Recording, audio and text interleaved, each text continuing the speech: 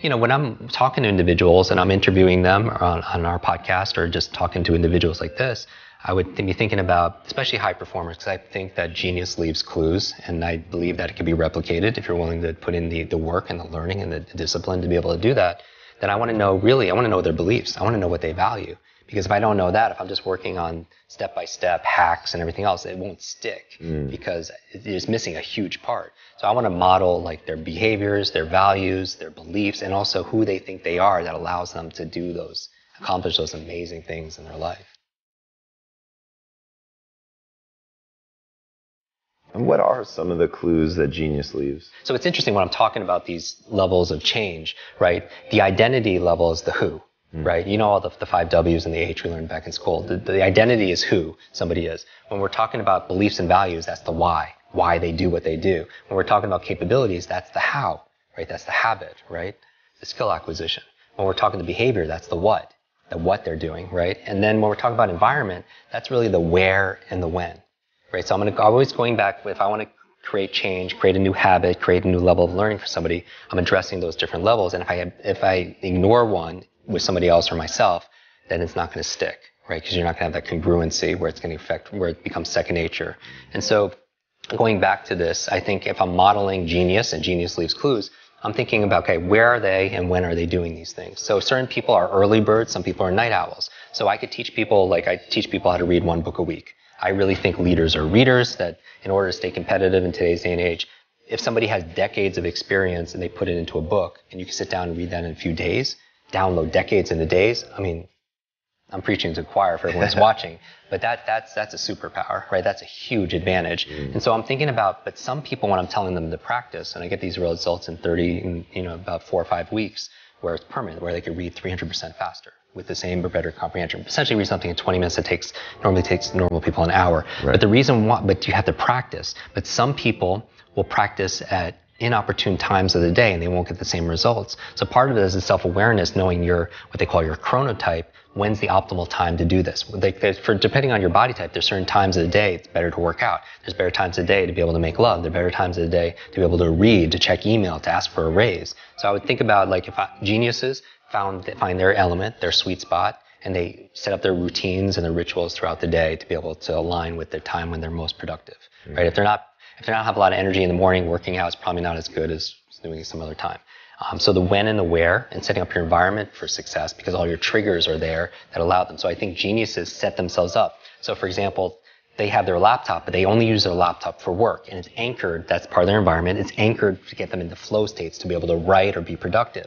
They don't use their laptop to watch binge on Netflix, right? They have a very, they have an iPad that they use when they do that because that's the state that they want to anchor for that. And they don't use that iPad to do work. You know, setting up your environment like your bedroom. Like we just did a whole episode on sleep hacks and how to optimize your sleep because that's a big, you know, personal challenge for me um, for many years because I had suffered from sleep apnea. It was a breathing disorder. I stopped breathing 200 times a night for at least 10 seconds which is the equivalent of somebody coming in and just choking and suffocating you 200 times a night. That's and so I would actually, the reason why I'm so adamant about productivity and learning hacks is because for the longest time, for literally five years straight, and you know this, I've slept about 90 minutes to two hours a night total. And you know how you feel when you get like one bad night's of yes. sleep and how like where your focus is, your energy level and your, how I get these horrible migraines. And it's forced me to double down in my practices you know, in terms of like I have a limited amount of time. I have to focus on the things that really matter, resources and stuff. But anyway, going back to this, like my bedroom is sacred space, right? It, I don't do work in there. I, I keep it because that's my trigger to be able to rest, go into parasympathetic right. space. I set up my environment so I have my blackout curtains, I have my grounding pad, so it's to optimize my restful sleep that I do get. So environment, so Genius leaves clues. They set up genius environments for themselves. And then the behaviors, most people know because they're intuitive. You know, these people are, are, are investing in themselves. They're, they're investing in self-care. Um, I always tell people that self-love and self-care is not selfish. A lot of people, you know, they're there for their friends and their family and their clients and everybody else, but they're not refilling their, their cup. Mm. So I think that we have to be you know, grow givers, meaning we have to, we grow so we have more to give to other people, so we have more impact with other individuals. So the behaviors are reading each day and putting together your to-do list and your, I think having your not to-do list is so important. Having been sleep deprived for so many years, you know, I think a lot of people, I'm super sensitized to it, but I think one of the success rituals people have, should have is just going through and keeping a consistent not to-do list And I think the most successful genius level individuals, one of the clues that they leave is their not to do list is bigger than their to do list, right? They don't check their phone in the morning. They don't take in, you know, everything is hell yes or it's hell no, right? That's their filter system. They don't, you know, they say no to good so they can say yes, yes to great. Mm. Um, so the behaviors, then you have the, the habits, which, and then you have the, the beliefs and the values. And beliefs and the values, you know, because I, I watch, this is one of the reasons why I, wa- I watch your show because I'm just hearing all the time you're listening to these amazing beliefs and values from achievers in all every area. I mean, it's amazing. I mean, you have Wyclef there, you know, and like Mellon, you have all these amazing individuals, but you see that there's a pattern that's there, mm. right? And there's an art, and but there's a science to it there, and there's an art to it, and how they express themselves. And then I also do believe that some of those successful geniuses, and I say geniuses not just, I'm not talking about IQ, right? I'm talking about an incredible, you know, artist. I'm talking about an athlete. I'm talking about an advocate, you know, in some area. Um, is they haven't, they're, they're clear about their identity, about who they are and who they are to the, to the world. And so, but I know what they, what they do commit is they do the work and they're committed to lifelong learning. And I feel like that learning, I always tell people, and we've had this, we had this conversation that if knowledge is power, then learning is your superpower. Mm. And I think it's a superpower that we all have. It's just not, we're not taught. Like recently we had, uh, Quincy Jones in our audience, and I had to pull him on stage, right? And I was just like, I was like, I have to ask you, you know, We Are the World and Michael Jackson and Oprah, like, you know, what did you, how did you overcome these challenges that, you know, these problems that you had to be able to create this, you know, this legacy? And he looked at me, he's like, Jim, he's like, I don't have any problems. I'm like, what do you mean? You're like, you're 84, you have no problems? And she's like, no, I have puzzles.